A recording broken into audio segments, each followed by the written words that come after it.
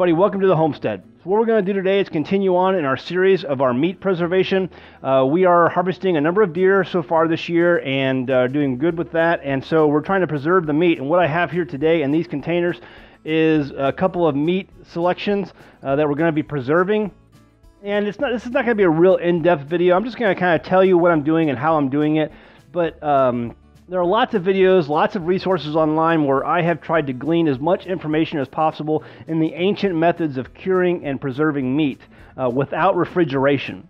And so, uh, you know, we don't have refrigeration here. We want to be able to save this meat so we can eat it throughout the year.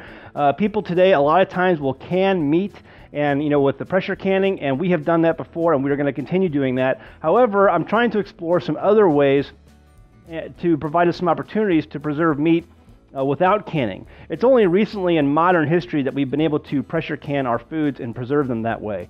Um, but 200 years ago, they were still preserving meat the way we're, we're trying to do it here today, and that's with salt and with uh, natural nitrates.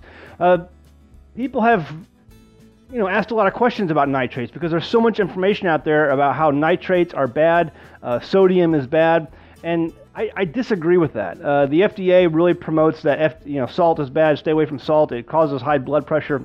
What I truly believe, and you can find medical resources online. Uh, Dr. Mercola is one of those places where you can find this information, where it's actually sugar that causes the majority of diseases and problems in, in American health today especially in Western cultures.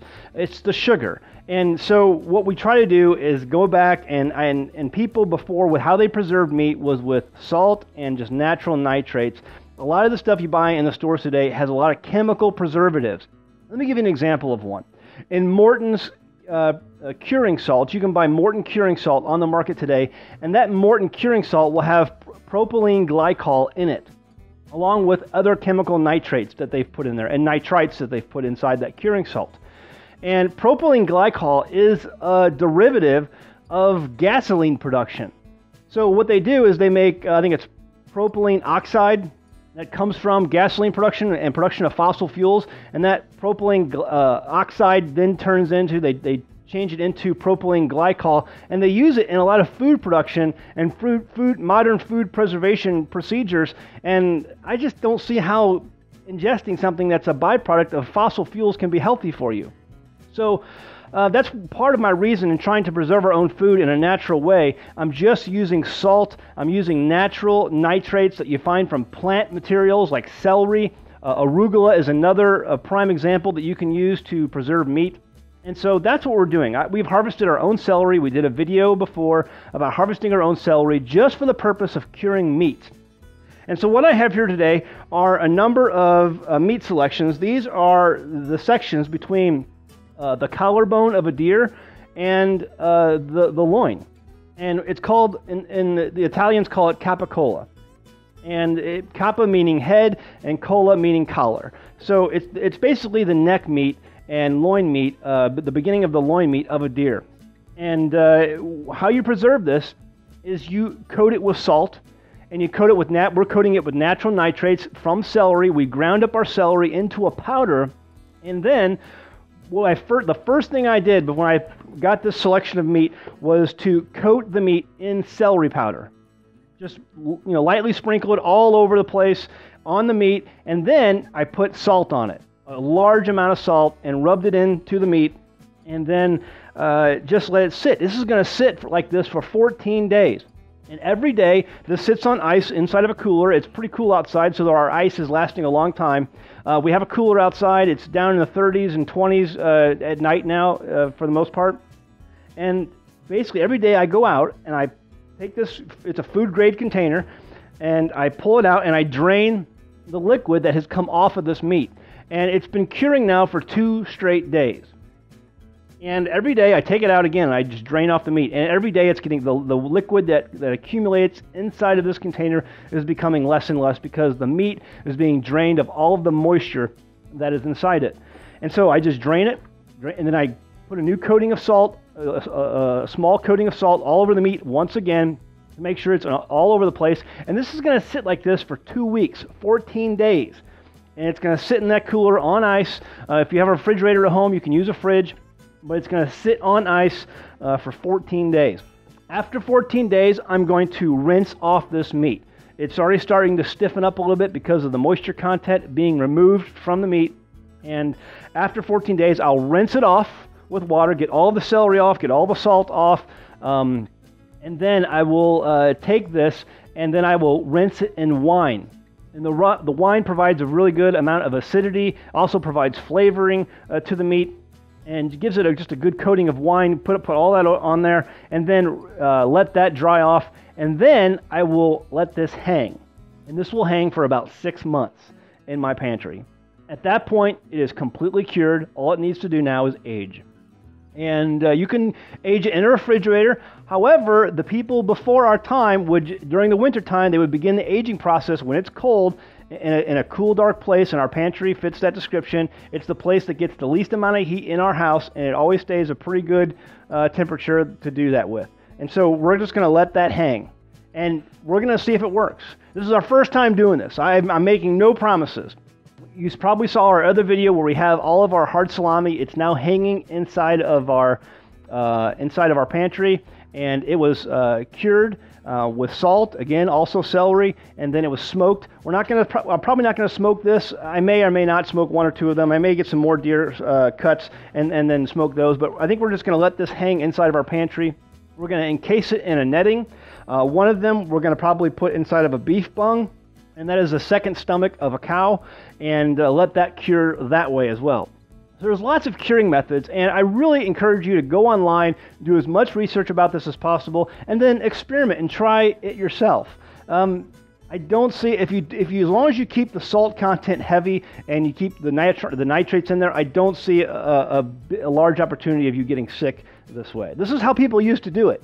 And see, there are a lot of people who came uh, before us who experimented with this and really got it down to a science. And there's a lot of companies out there today who are practicing these ancient curing methods, and they're doing it with great success. And so I'm using those people as a model. I'm using our ancient ancestors as, as a model and the knowledge that they procured by doing this, doing these methods, and I'm just trying to copy it and try it for ourselves. Because I want to be able to find a way where I can preserve my meat with the least amount of energy possible not using pressure canning, not using any, any chemical preservatives, obviously, not using refrigeration. I want to be able to preserve our meat in a way that is natural, the way people used to do it, and just see what happens and try it. And, see, and, and you know, if, if I fail, I fail. I'll try again. But at least I'm going to try. And so that's what I would encourage you all to do, is to go out and try. Do the research, go out there, find the videos, just Google ancient cure, curing methods for meat, and, and we don't use pork here on the homestead. We use lamb, we use goat meat, we use cow, we, uh, beef, we use uh, a lot of venison. Um, anything you can do with pork, you can also do with any other meat. It's not a big deal. Just the, follow the same recipes, just switch out the meat if you'd like for like venison or, or cow or beef or goat or lamb and it should work okay. So this is what we got right now. This has been curing now for two days. Uh, um, uh, every day I go out, I rinse it off. I, am sorry, I don't rinse it off. I drain out the liquid, and then I uh, apply a new coating of salt. Now, the first day that I um, started curing this, I also added sugar, some powdered sugar on this, or you can use some granular sugar on this. You can just sprinkle the sugar. That also provides a good flavor for the meat a very good flavor that helps intensifies the salt. Uh, I'm kind of people who know me know I don't like to add sugar to my savory things, but when it comes to curing meat, sugar goes a long way at providing a great flavor for a cured, salted cured meat. So I also did that. It's up to you if you want to do that. Some people did it back in the day, some people didn't, but you, adding the sugar will also provide additional flavor. So that's really basically it. I just used pure salt. It's pure sodium chloride, no additives, no baking, uh, no no anti-caking agents, um, uh, no iodine, nothing. It's just pure sodium chloride, pure salt. And there's a lot of places you can find this, and if you look for it, you can find it pretty cheap. We've sourced ours uh, pretty cheap for about I don't know eight dollars for a 40-pound bag. Um, you can find it as well if you just look around uh, around your local uh, retail shops.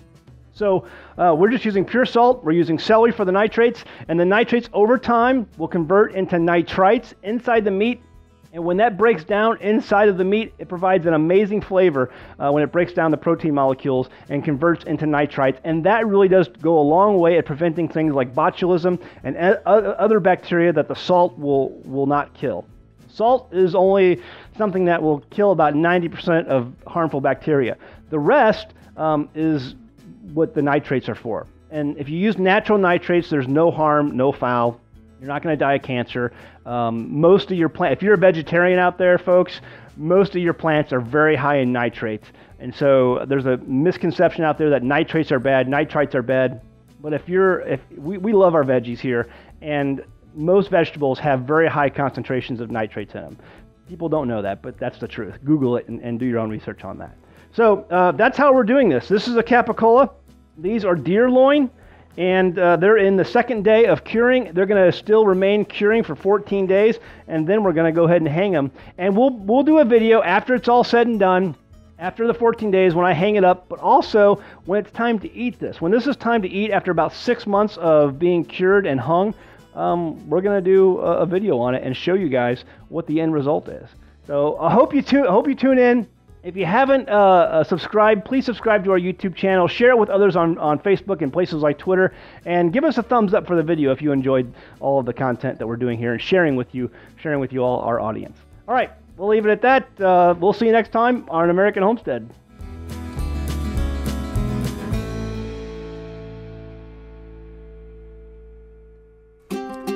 Thanks for watching. If you enjoyed this video, please click the thumbs up button below the video. It really means a lot to us. And be sure to subscribe if you haven't already. Now you can support An American Homestead by becoming a patron. Visit patreon.com slash An American Homestead to see all the benefits of becoming a patron of our channel. You'll get access to private videos, pictures, and even live question and answer sessions that you can participate in. Some patrons will even receive free gifts throughout the year from the homestead. Visit patreon.com slash an American Homestead to check it out and see the rewards of supporting our channel.